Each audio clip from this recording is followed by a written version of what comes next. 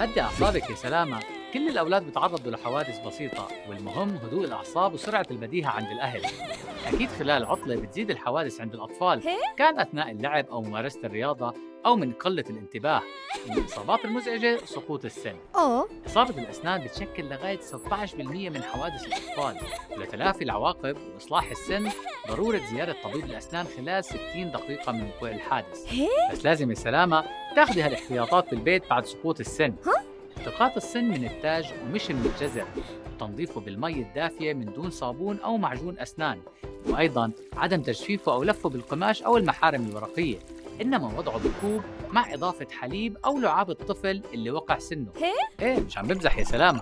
اللعاب هو المحيط الطبيعي للسن بالفم وما بيعمل أي ردة فعل للأنسجة. وبعد الطبيب بيعمل خطة علاج لإعادة السن لمكانه وتثبيته وممكن العلاج ياخد شهر. أوه. وعلى فكرة إذا كان السن من الأسنان اللبنية فما في داعي لكل هالعذاب لأنه رح يطلع السن بديل مكانه.